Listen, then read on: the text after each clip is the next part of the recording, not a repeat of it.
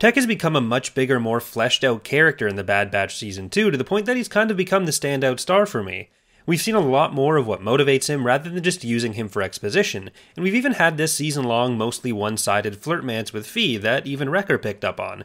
But one of the best parts of the Bad Batch this season has been Tech's scenes with Omega.